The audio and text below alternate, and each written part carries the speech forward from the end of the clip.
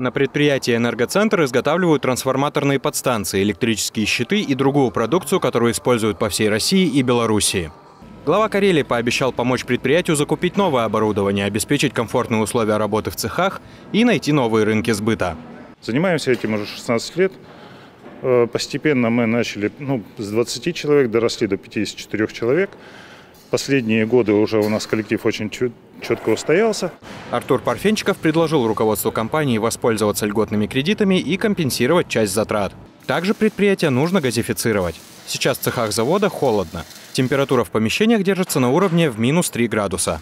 Это для нас очень такой важный тоже момент. Мы сейчас всячески способствуем э, развитию производства как раз э, в сфере металлообработки.